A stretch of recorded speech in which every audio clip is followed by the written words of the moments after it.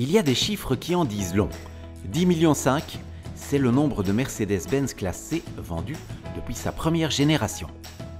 Vous en voulez un autre? 100, c'est le nombre de kilomètres que peut parcourir à l'électricité cette nouvelle classe C. Tiens, une classe C électrique me direz-vous? Eh bien non, plug-in hybride.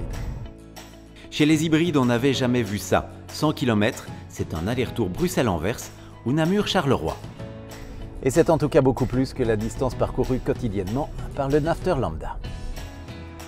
Pour franchir cette nouvelle étape dans le domaine de l'électrification, cette Mercedes-Benz C300E embarque une gestion intelligente basée sur l'itinéraire. Elle active ainsi le mode électrique là où il est le plus approprié. Alors en ville, bien sûr, mais pas seulement.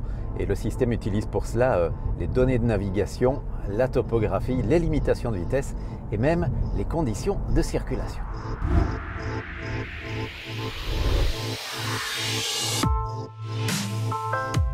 Cette classe C embarque aussi une grosse batterie de 25,4 kWh. Oui, juste là, sous le plancher du compartiment à bagages. Et pourtant, vous voyez comme moi, ce compartiment à bagages est désormais parfaitement plat. La marche qu'on trouvait à ce niveau a désormais complètement disparu. De quoi charger de l'encombrant et du long. Si le progrès est déjà sensible sur la berline, sur le break, il est carrément flagrant.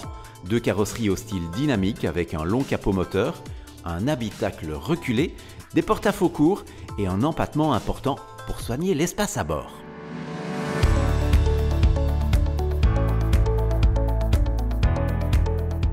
Pour soigner la dynamique de conduite, cette nouvelle classée peut d'ailleurs recevoir un train arrière directionnel qui allonge ou raccourcit virtuellement bien sûr cet empattement.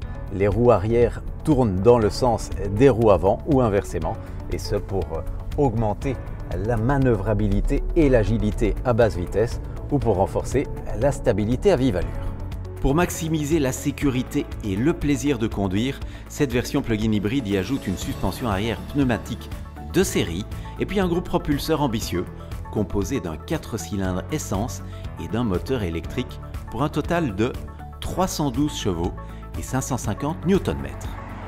Pas besoin de vous faire un dessin, ça déménage au propre comme au figuré d'ailleurs avec beaucoup d'espace à bord et beaucoup de plaisir au volant.